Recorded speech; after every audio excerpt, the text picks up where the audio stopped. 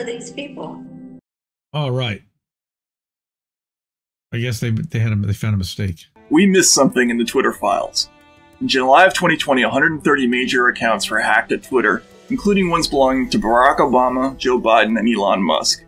To fix the problem, Twitter hired a famed ex-hacker turned cybersecurity expert named Peter Mudge Zatko, who in 1998 was part of a group that famously told the Senate that the internet could be conquered by hackers in 30 minutes. Zatko quickly hired a firm called Alethea to do sweeping audits. The contract for one included the name of singing censor Nina Jankowicz. The documents contained alarming proposals for new content suppression schemes.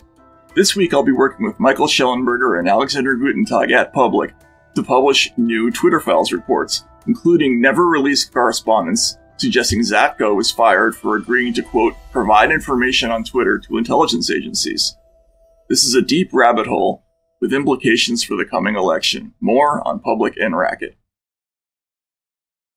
But his question is, is was Twitter set up by the intelligence agencies?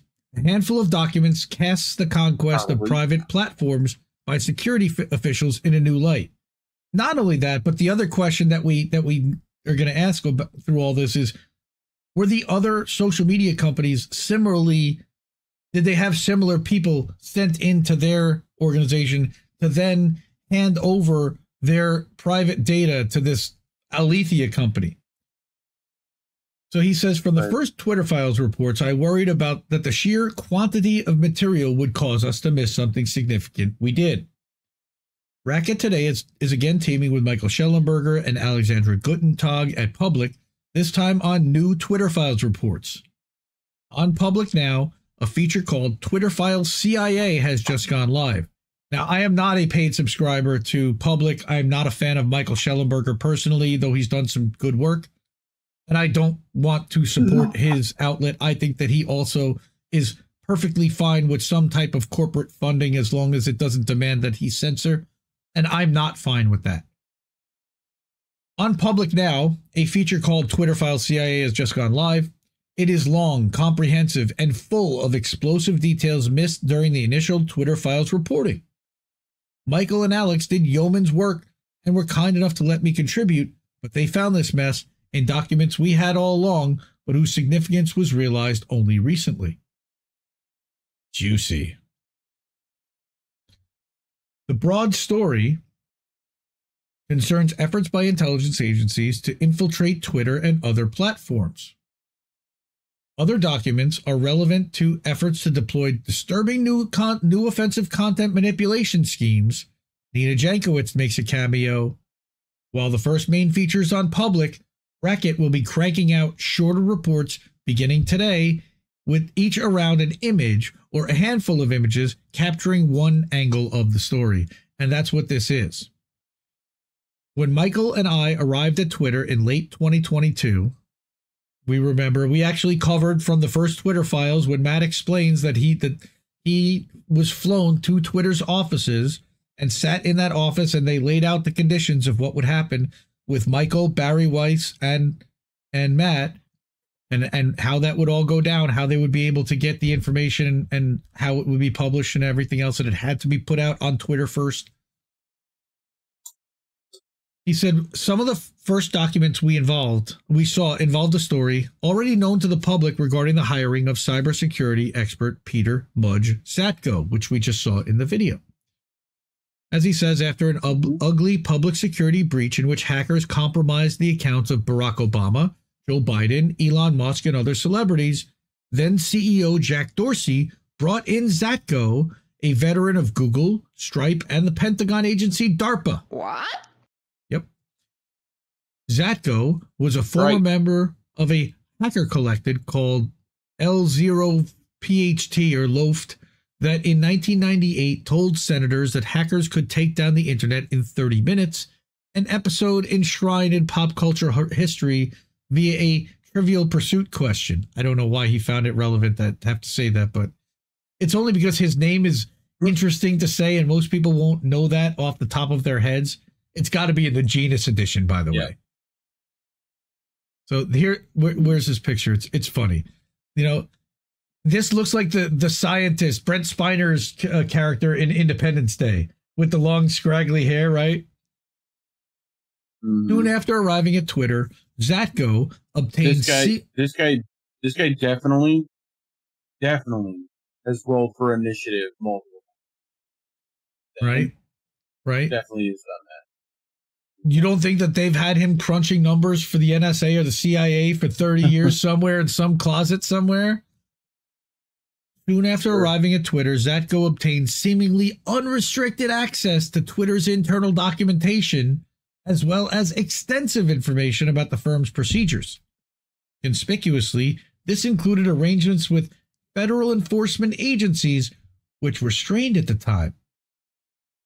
Unbeknownst to outsiders, Twitter at the time had shut its doors, at least somewhat, to the intelligence community.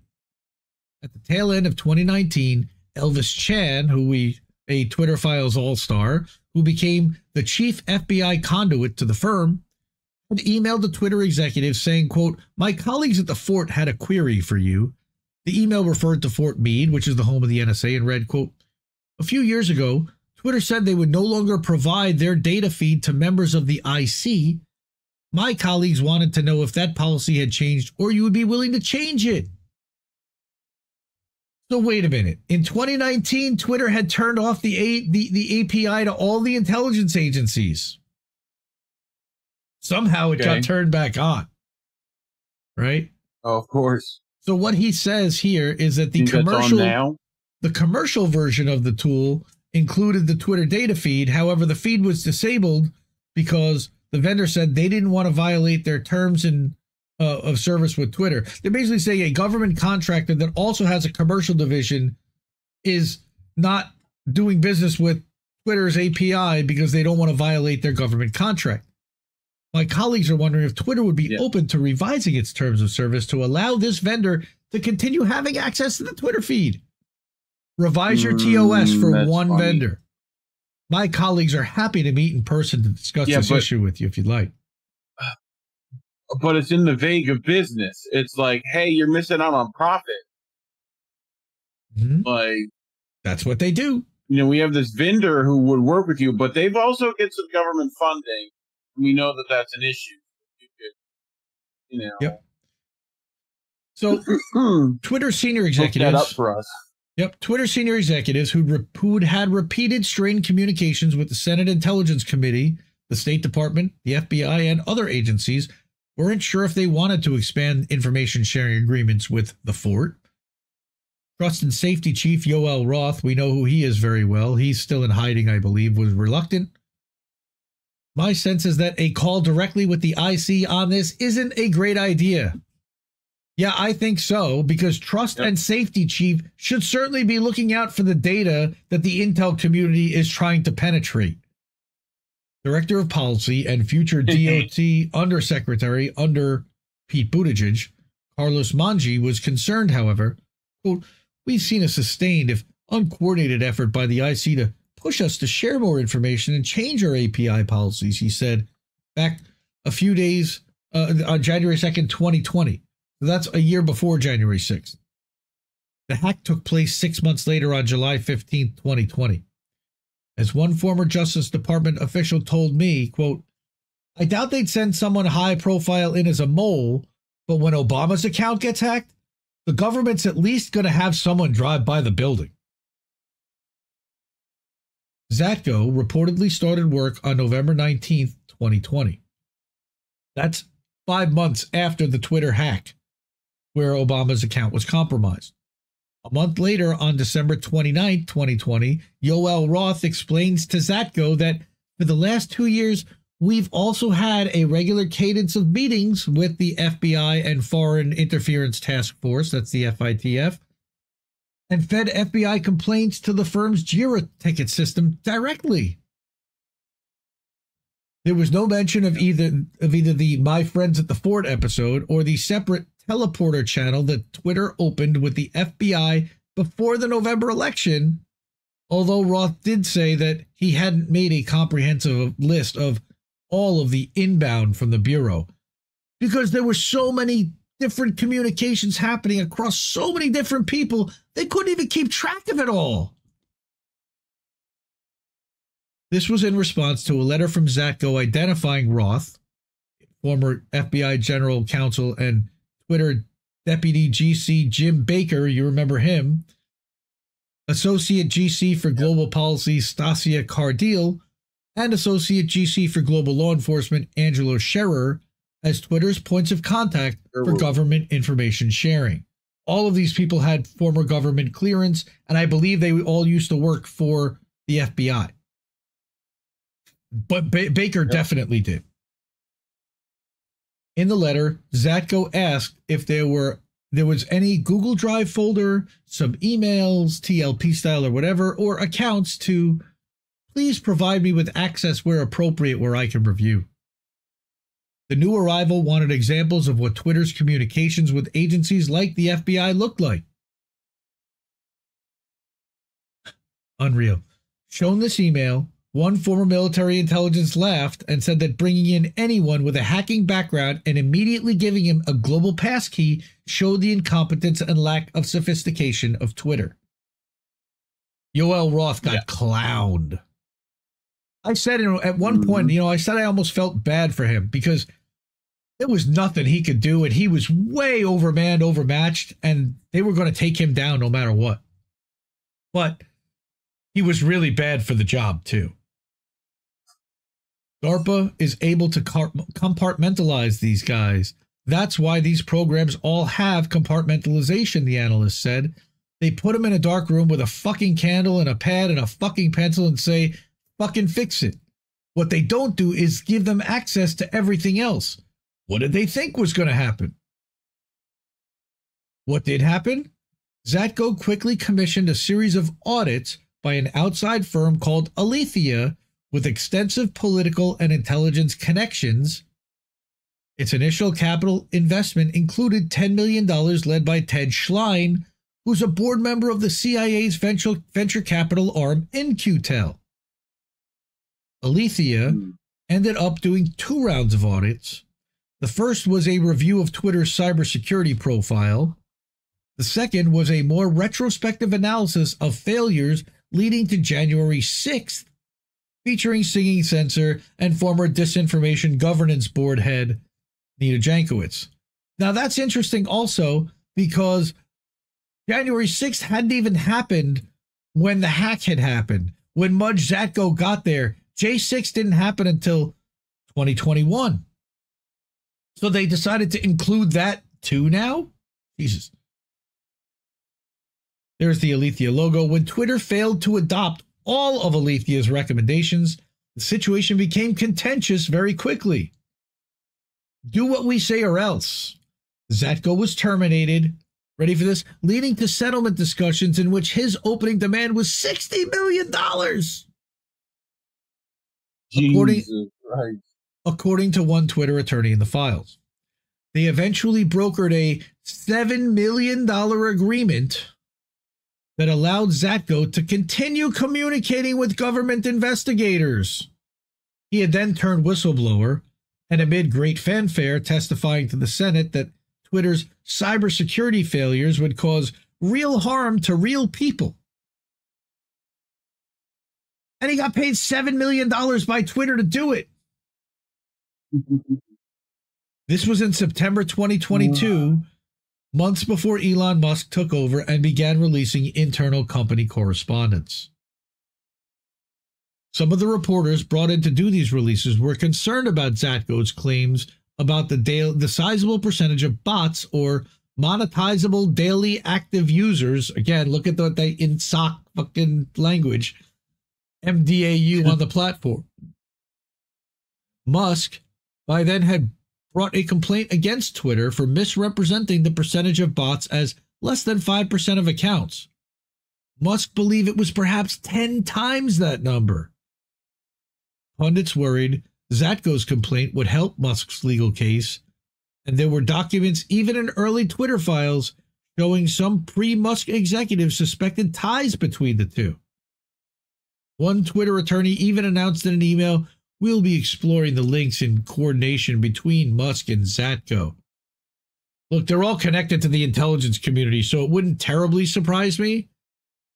But why Jack would hire somebody who was secretly a mole working for Elon Musk who was about to buy the company and then whistleblow on it doesn't really make much sense to me, but maybe I'm wrong. Yeah. Concerned about any story that could be construed as favoring Elon, I was reluctant to spend any time on Zatko related correspondence. This was a big mistake. Twitter, it seems, never found a link between Zatko and Musk. However, Shellenberger and Public found an internal chat involving a Twitter attorney making a more explosive claim. Quote, without the knowledge or support or ma- of management or the board, Twitter learned that Zatko had engaged with members of the U.S. intelligence agencies and sought to enter a formal agreement that would allow him to work with them and provide information to them. He was going to be a corporate spy or a, a government spy inside a corporation. Yeah. In another document, corporate Twitter, spy. right? In another document, Twitter attorneys prepared talking points to present to the Department of Justice about Zatko, cataloging alleged performance issues he'd had. The document describes how Zatko became aware of a possible security issue with a Twitter employee's ties to China Quote, Zatko was aware of the issue, having learned about it separately through a contact at CIA. How, how, how could he do that if, if he's an independent Twitter employee? How does he have contacts at CIA and be talking about this shit? Uh huh.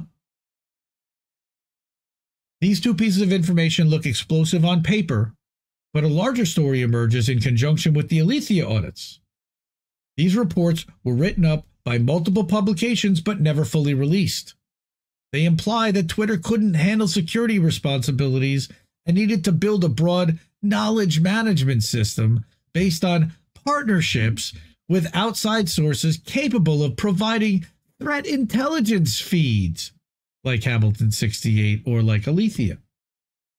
Recommendations are made about draconian approaches to removing purveyors of disinformation about COVID 19 misinformation, safe and effective, QAnon, violent hate groups, and foreign government operated IO. Uh huh. That, by the way, what they're talking about there, foreign government operated IO, hey, they're talking about Russia, China, and their intelligence operations and agencies, but they're also talking about um, WikiLeaks and the Grayzone, who they are now starting to classify yep. as non-hostile or, or uh, as hostile non-state actors. Yeah. There's no way to read these reports except as a forceful suggestion that Twitter expand the scope of its cooperation with federal enforcement agencies and with other platforms. An internal battle by Twitter lawyers to retain control via the attorney client privilege of the Alethea documents showed they were concerned that the entire episode would be used to add pressure to the push described by Monje to share information with the IC. The back and forth of that entire battle is recounted in the public story, but I'll also drill down in the coming days. And I think we have another piece on that next.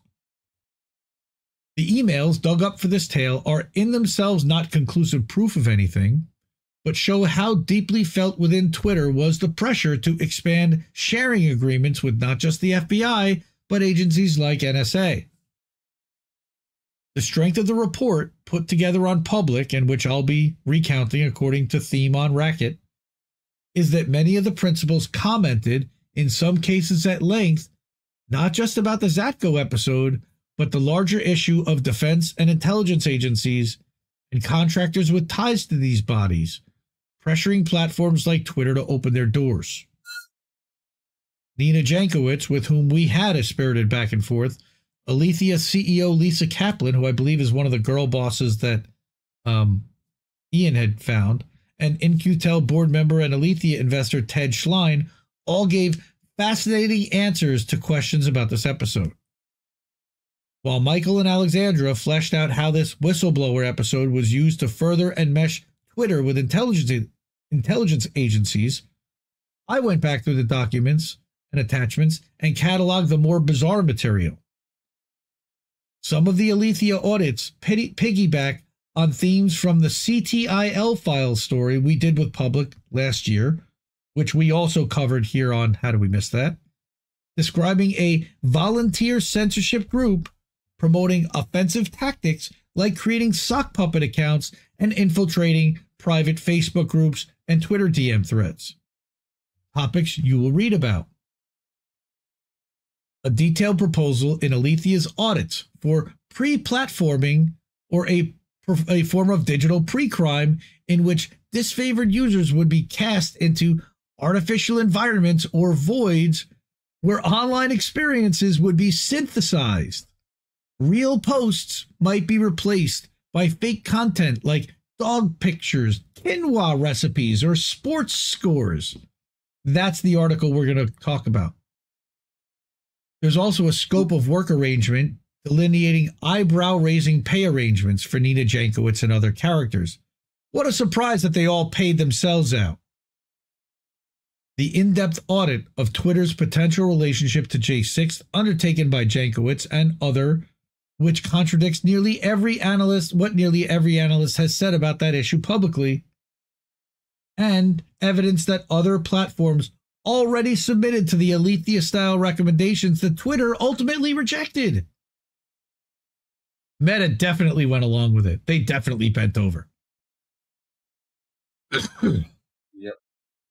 There's a lot more in there, including, of all things, an exchange showing both Glenn Greenwald and myself were being monitored by an information security contractor.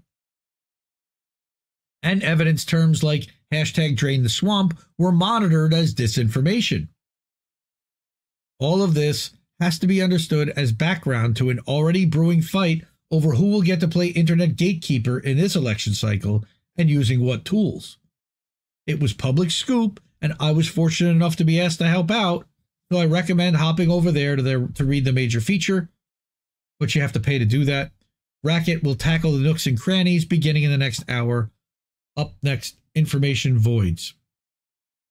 And I don't believe that that's the one that we're going to cover. We're going to talk about, oh, that might be information voids. That's the one where they replace your your timeline with posts unbeknownst to you when other people go to search your timeline. You see your posts, they do not.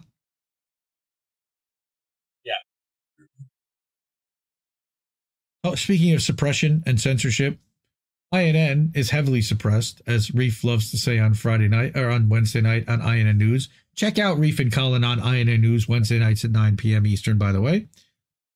Yeah. In order to support independent media, you can donate to INN. There's that little QR code down in the bottom left corner right now that's showing to go to the Jesse Jett Computer Fund that is currently sitting at about a thousand dollars. We're trying to, re- to, to raise it up to two thousand. We just reached a thousand last night. Thank you so much to everybody who donated. If you can't donate, please like, share, sit back, enjoy the content, share it with everybody you know, and especially people that it would make mad. So I've got one, right? Uh, again, Substack, Rumble, Cash App. You see all the other links and other ways to donate and support us. Also, sharing our YouTube videos, watching multiple YouTube videos will put more of them into your algorithm and you'll see our content more and more. And of course, subscribe and turn on the bell for notifications if you can.